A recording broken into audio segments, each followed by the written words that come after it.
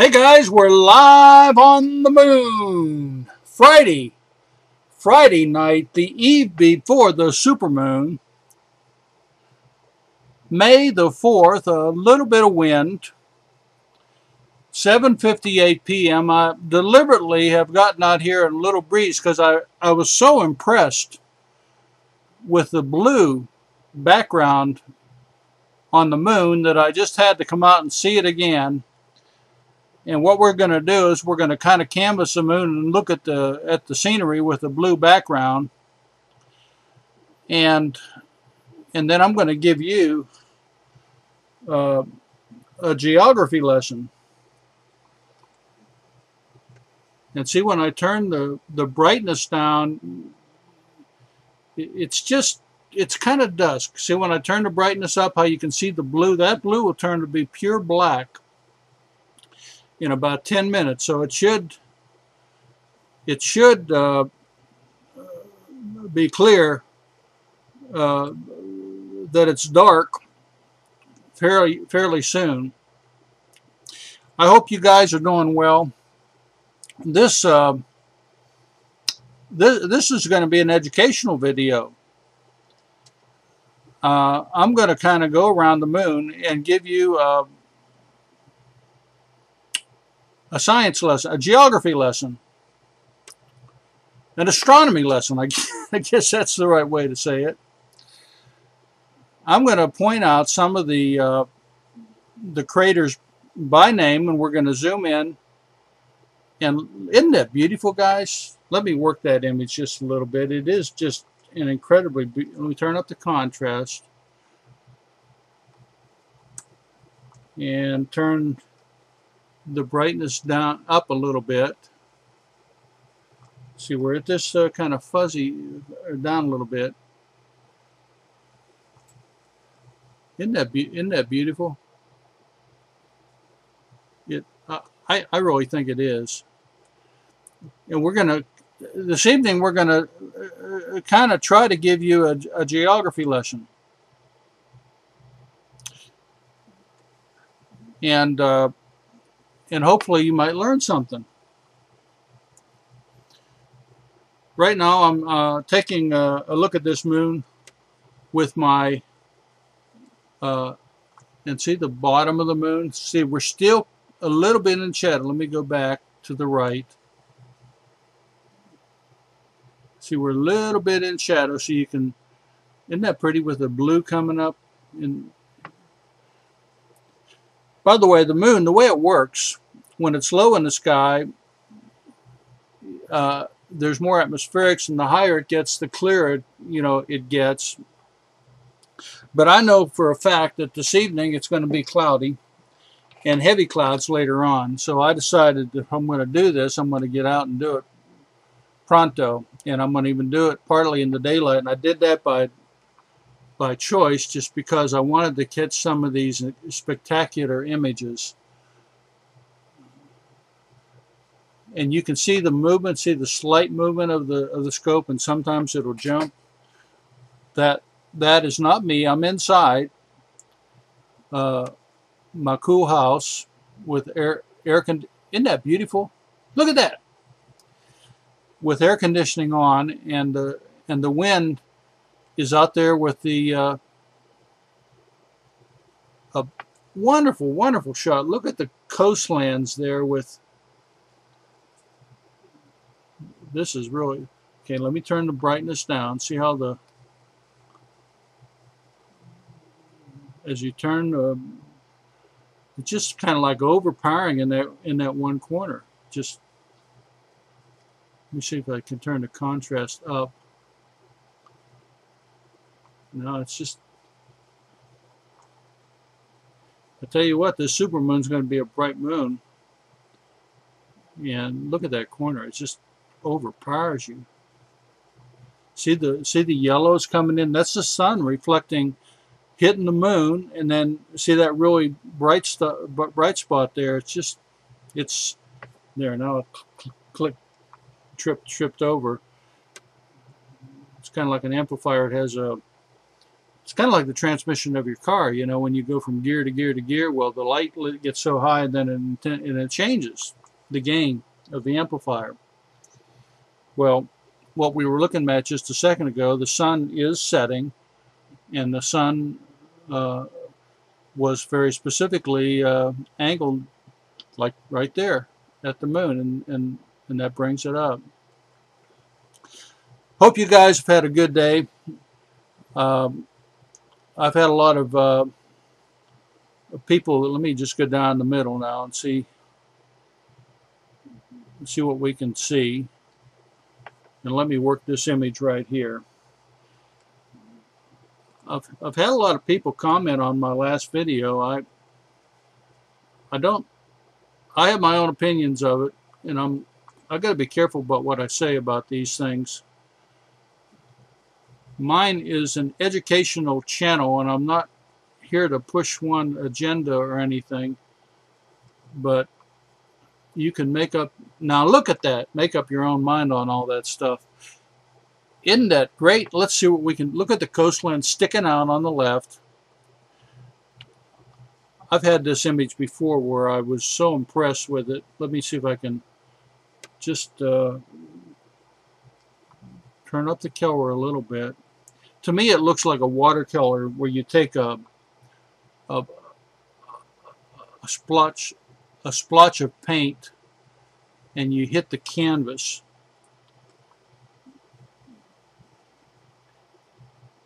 And look at the look at the edge of the moon on the bottom side that's blue. Isn't that weird? You got the you got this crater coming out at you like an eye.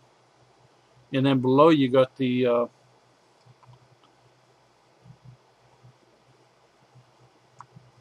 And let me turn the contrast up a little bit.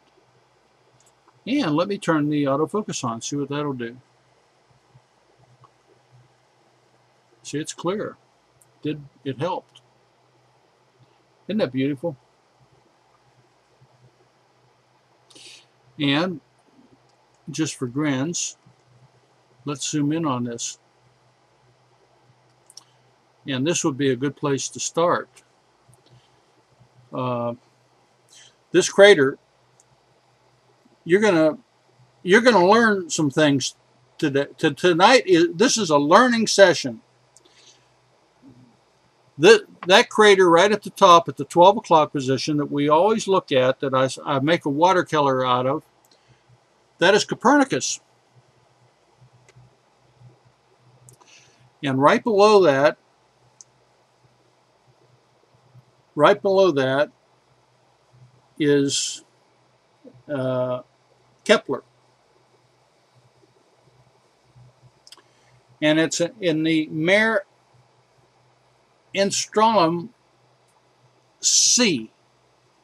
So the so the the blues that kind of surround these craters are a sea. See, at one time, uh, the scientists say, the astronomers say that the that this was volcanic, and that vol volcan volcanism existed on the moon, and there are they believe they've discovered lava pits where it, they came up. So all these so-called seas that we look at, these Mars, let me turn up the brightness again so we can kind of see it over. It, it, does overpower y'all, kind of temperate, are actually uh, lava beds.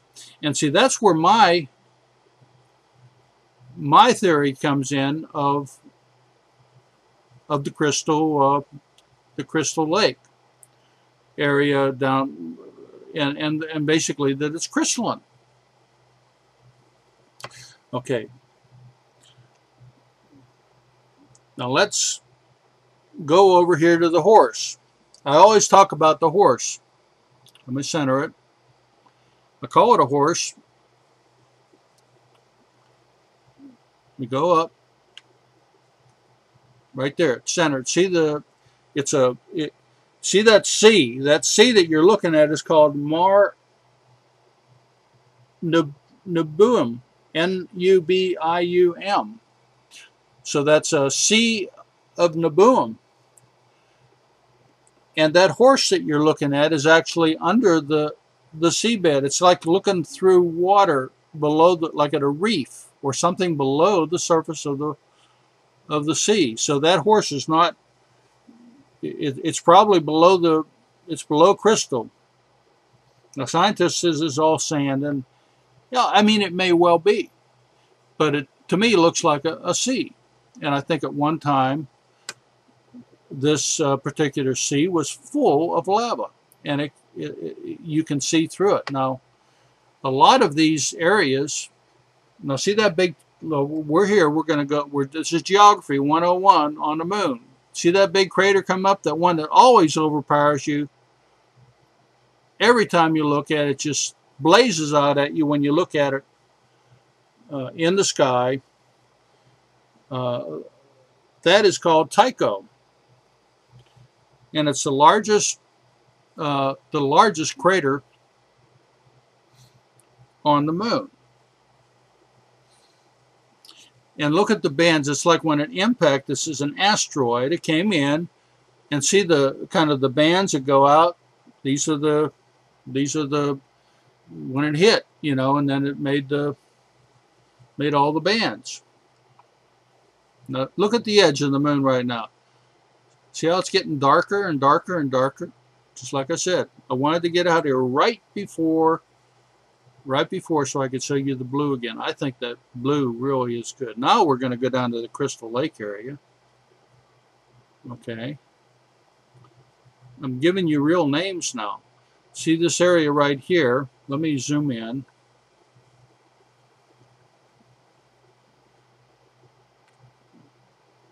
Go up a little bit and zoom in.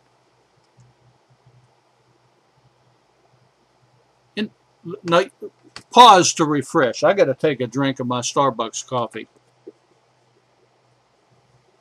Lately, I've had a habit of going to Starbucks in the afternoon, and you know, and I, a, a, a thing of ice, uh, a Trenta large Trenta super large iced coffee, black, no sugar, no cream, and then I kind of sip on it in the evenings. Now see that buckling, that's the wind. But take a look at this image. This is a beautiful image, guys. And you're seeing uh, the true color on the moon. This camera is so sensitive to the color, it just brings it out. It jumps out at you. See below the craters and how you got the browns, you know. But then in the Mars and the sea, see how it's blue? That's just the way it is. And what makes this camera so unique, and when I'm using it to look at this stuff, you can see beneath, you can see features that you wouldn't otherwise see. Let me give you an example. We're going to go in and zoom in on Crystal Lake. Now, Crystal Lake. What is Crystal Lake? Well, it's not Crystal Lake. It's called Mar Humorum. H-U-M-O-R-U-M.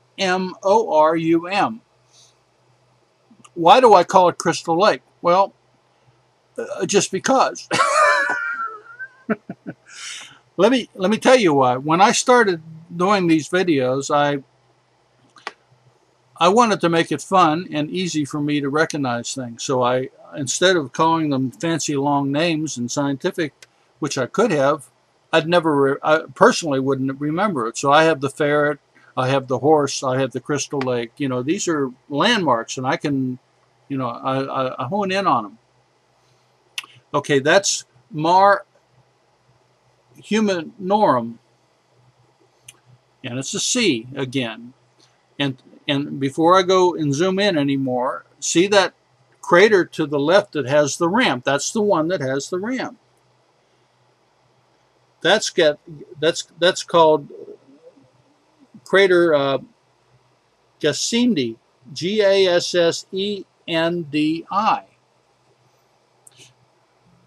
And when I first, if you look at my earlier videos, when I looked looked at this thing at one time because I was looking at it uh, with inferior optics, it looked like it had a bubble over it. But it, it's no bubble and it's no, there, there's no uh, UFO base in the crater. Well, there might be, but I mean, those things that you're looking at in the middle of the crater are simply pile rocks, and we can we finally verified what they are by just zooming in but I'm not going to go, go look that close tonight. I'm, I'm just giving you a geography uh, lesson. Okay.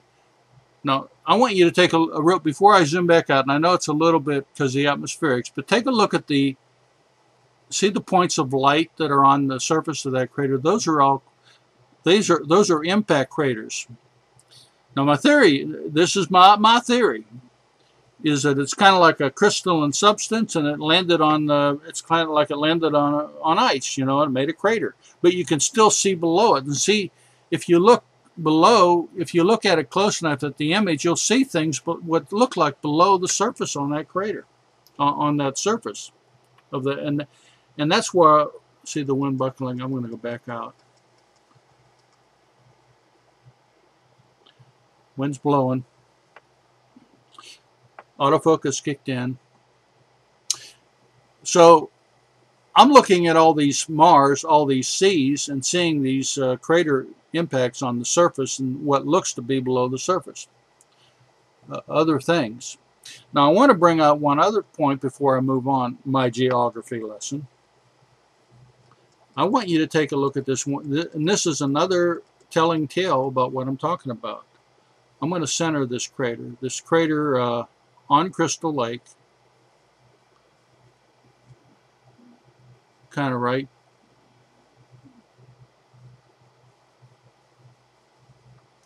Well, it's it's above six. It's it's it's. I got to go up. I get excited. I got to push the right button. Uh, this crater looks like it's. And let me adjust the.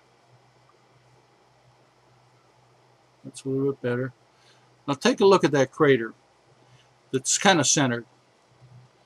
You know, let me turn the contrast down a little bit. It's not as clear as it was the other night, and it'll get clearer later on, but I won't be able to see it when it's clear. See how it looks like it's half underwater? That crater is called Doppelmayr. And what what I'm trying to show you is it looks to me like it what you're looking at is uh, a sea that filled with crystalline lava that that froze up, you know, and then covered. It's kind of like a covered part of the crater. I do what I call common sense astronomy. I'm looking at things and trying to decide what I'm looking at. And uh, and there are times when you can actually see the rim, the other side of that rim under under the water, as it were.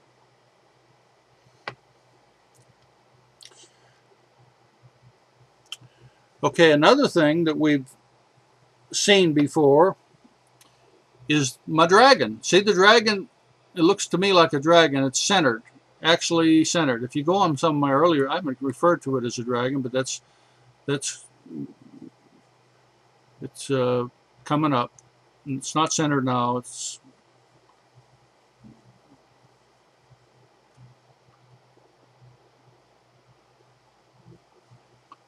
That's what I call the dragon, kind of centered, just because it kind of looked to me like it had wings. Now take a look at this. This is a neat shot. This is pretty neat. Take a look at the shadow line below and see see that one crater that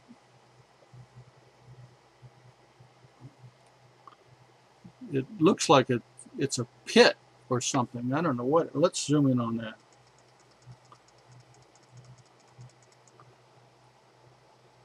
So you see unusual things on the shadow line. I, I don't know what we're looking at, guys. I really don't. But it's interesting. It, it's definitely, and it's educational.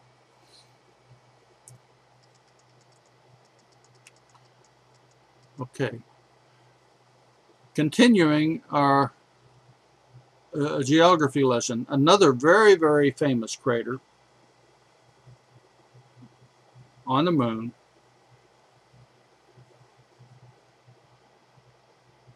is centered. And let me bring that up on my uh,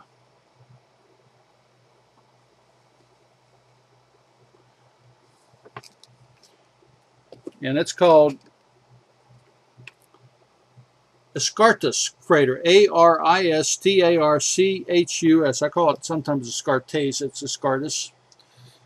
and it's a uh, well, it's, a famous crater. A lot of uh, UFO. Look at that picture, guys. Let me back out one more. That was just that. That's stunning. Autofocus is on. It's in focus. It's look at the blues. Look, you are getting a geography lesson in color. I mean, this is incredible, guys. I've never seen this particular crater in this sea in this particular light before. A lot of UFOologists uh, talk a lot about this crater. Well, you can look at and Google it up. I'm not going to talk about that right now, but I just want you to enjoy the beauty. Pause and refresh. Take a drink of your Starbucks coffee. And enjoy. Let me turn up the brightness just a dab.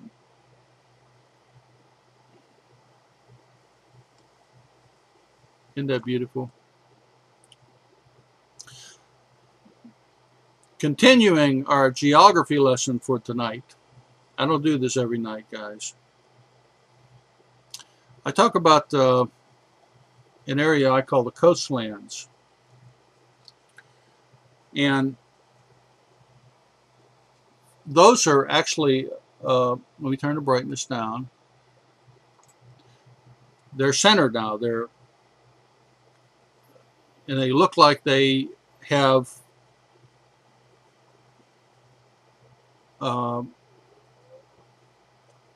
to me it looks like you know like the United States and you're looking at the at the eastern seaboard and then out in the right is the the ocean you know so it looks to me I call it coastlands.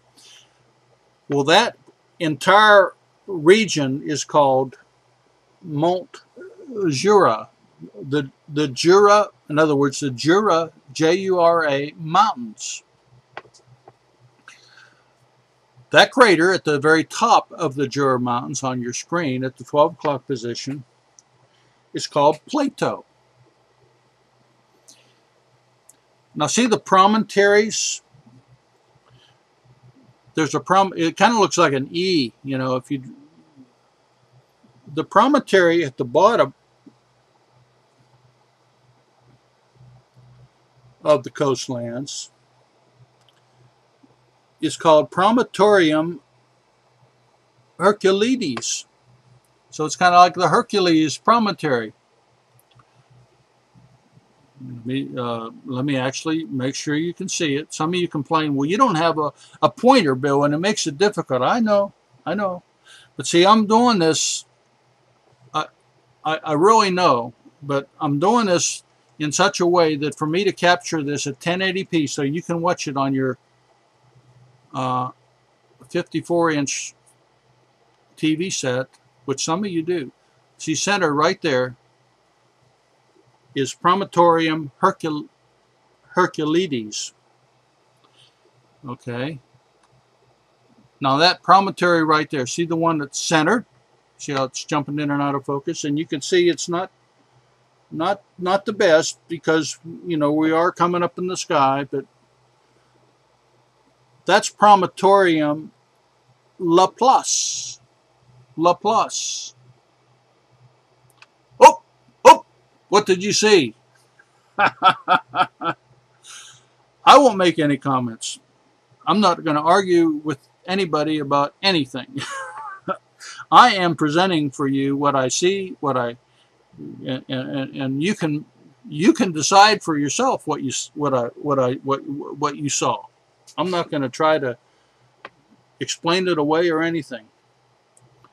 Okay, centered right now. See that kind of line that we've always seen? That's Mount Recti. So those are the Recti Mountains. And let me zoom back out. Go see, it's a little bit and see, as I zoom out, the, the color hits a, and the light changes on the lens, and it's, isn't that beautiful? Okay. Okay, Plato is centered. Kind of, I'm kind of hitting the high points, of things that I've talked about before. And to the immediate right of Plato, centered, okay, is Archimedes crater, centered right now. You say, I can't see it, point to it. I'll zoom in, right centered. Archimedes. Okay. And let me turn the brightness down just a dab. Directly above Archimedes is Autolycus, A-U A-U-T-O-L-Y-C-U-S. And to the immediate left of Autolycus is the star crater. it's, not the star crater. That's what I call it. Why do I call it the star crater? Because it's a star. You know, some nights we look at this thing, guys, and uh, we don't see the star. And some nights we look at it and we see the star. See the star? You can see the star tonight. And that crater is called Aristillus.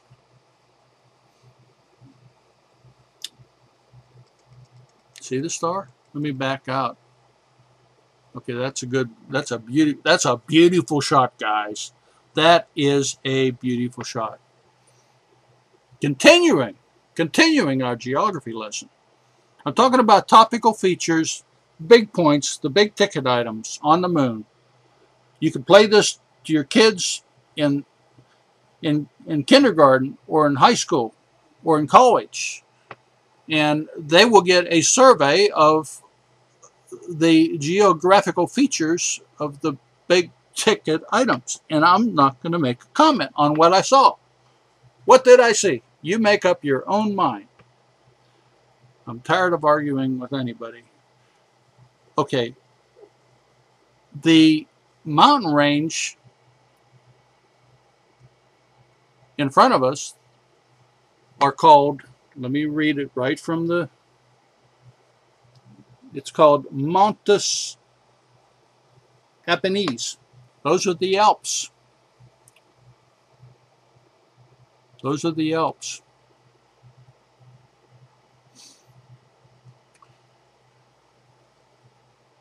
And, and let's go north to the Mar. Remember, I, I always talk of this line of demarcation. It's really as clear as a crystal bell. This is kind of neat. I've had autofocus on for the entire session, and it's been pretty stable. Everyone see how jumping in and out. That's not the one that was it focusing. But see, the you got two seas. One's on the left, and one's on the right. The one on the right is bluer, and the one on the left's kind of uh, gray. It's kind of like you're looking on the one on the left. You're looking at a, a a oh another thing that I saw flipping around. I'm not going to talk about it. The one on the left, another one. Uh, the one on the left is called Mar Serenitatis. And then you have what I call the line of demarcation.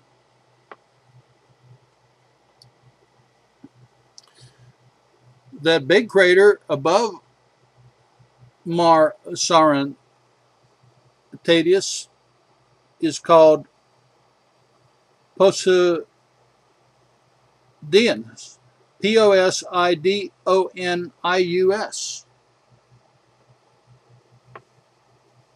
Oh, oh, oh, fleets.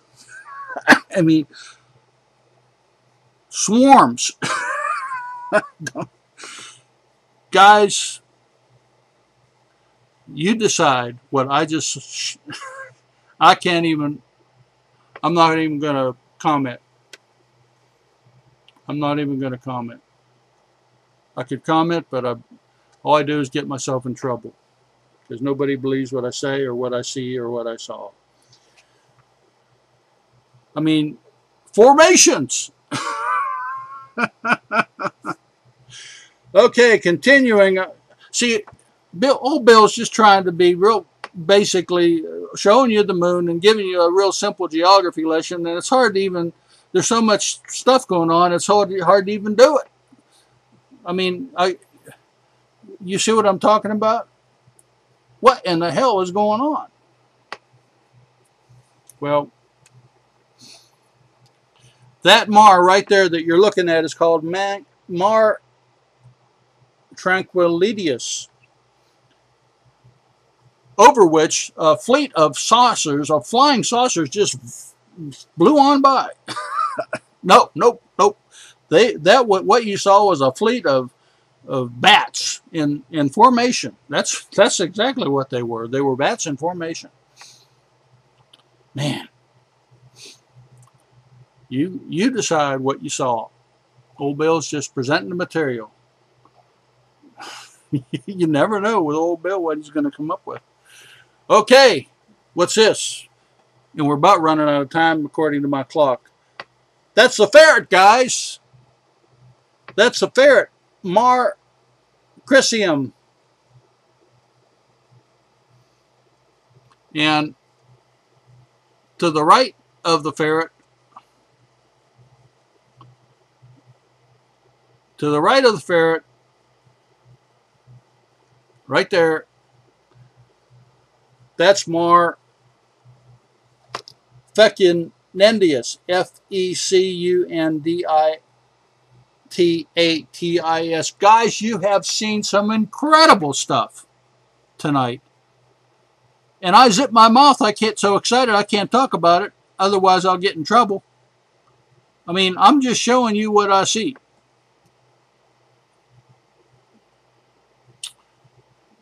But I tell you what, I think I've seen some historical things tonight. I just wish uh, more people would look at it and uh, enjoy it. So we'll, we'll start, uh, we'll stop where we started. Kinda. Kinda. At the line of demarcation the line of demarcation between Mare uh, and uh, that's T-R-A-N-Q-U-I-L-L-T-A-T-I-S and Mare on the left is Serenitatis, S-E-R-E-N-I-T-A-T-I-S. So the Mare of uh, Serenity on the left and the Mare of Tranquility on the right with a demarcation line in the middle. Now that is a better way to put it. And at that, wishing you and yours